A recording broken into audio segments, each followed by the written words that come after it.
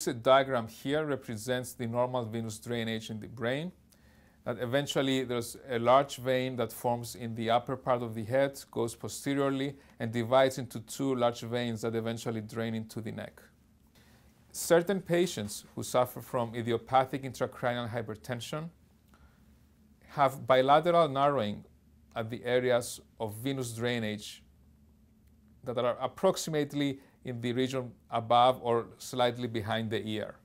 In these patients, the blood flow is not normal, and as a result, there is backflow into the head, resulting in increased uh, pressure and the symptoms of intracranial hypertension.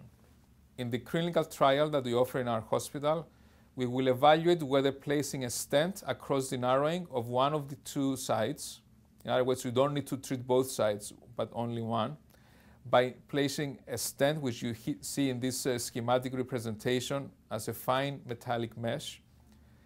Thus, relieving the stenosis, we can restore normal blood flow across the large veins of the brain and into the neck.